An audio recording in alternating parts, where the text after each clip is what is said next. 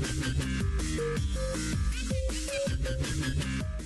Hello，大家好，欢迎收看八分电影。今天给大家介绍的电影是《神探夏洛克》第三季零三，改编自原著《最后的致意》。这次有一个惊天秘密要被揭露：夏洛克在好基友结婚后成了瘾君子，一直吸食海洛因等毒品。华生得知消息很生气，夏洛克却说自己是在调查马格努森诈骗案。马格努森是一个记忆力比夏洛克还厉害的人，只要看过的东西他都可以记得清清楚楚。有人以为他的眼镜有录音或者录像的功能，其实只是他的脑。脑子特别厉害而已。他利用了自己的这个能力，掌握了很多英国政界的把柄，靠这些自己永远忘不了的把柄来要挟别人。夏洛克不仅假装成流浪汉吸毒，而且还假装和马格努森的助理美女谈恋爱。马格努森是在华生婚礼上认识的人，是玛丽的朋友。夏洛克只因为他的工作，所以接近他。马格努森的公司戒备森严，旁人根本没有办法进来。夏洛克为了骗女友开门，竟然买了求婚戒指。女友心动后打开了门，夏洛克溜进去想要偷。资料，这时却闻到一种独特的香水味，叫做月光。这款香水很小众，身边只有一个女议员和华生的妻子玛丽在用。夏洛克决定暗搓搓的等着这个人过来制服他，却没想到这个人是玛丽。原来玛丽是一个特工，这也解释了前几集中玛丽的机智过人，以及她为何会认识马格努森的秘书。玛丽这次过来是想要偷到装有自己信息的 U 盘，现在她已经嫁人怀孕，希望自己能够摆脱过去特工的身份。不过她也不可能如此。快得手！有人追杀过来，于是玛丽给了夏洛克一枪，但是并没有致命，以此逃脱。逃脱后，夏洛克被救了起来。华生也决定原谅玛丽，两人一起过普通的日子。夏洛克的哥哥麦考夫是一个政府官员，他和夏洛克一起追查到了马格努森的老巢。他们认为他一定是在这个老巢里有一个庞大的数据库，这样才能够掌握那么多人的信息。不过马格努森把夏洛克带到了自己的数据库，这里就是一个空房间，里面放着一张椅子。他炫耀般的展。展示了数据库，原来这个数据库就是他的大脑，他自创了一个记忆宫殿，看过的东西，哪怕是小小的细节，他也能够清清楚楚的，而且永远忘不了。虽然装有玛丽信息的 U 盘被华生销毁，但是他轻而易举的在大脑中检索出了所有有关玛丽的信息。最后大家发现实在没有办法解决马格努森和他的手下，于是夏洛克的哥哥叫来了狙击手，杀死了他的手下，夏洛克也一枪打死了马格努森。不得不吐槽一下，夏洛克三年才更。新一次，但是这次的三年让人觉得等得不值得，就像《名侦探柯南》最近的剧场版一样，明明是侦探片，却拍出了武打片的感觉。这一季的夏洛克推理情节太让人失望，而打斗情感故事却占据了大量的篇幅。不过大家不要着急，在第四季中，我们熟悉的侦探夏洛克福尔摩斯马上就要回归了。好了，我们今天就说到这里，我们下期不见不散。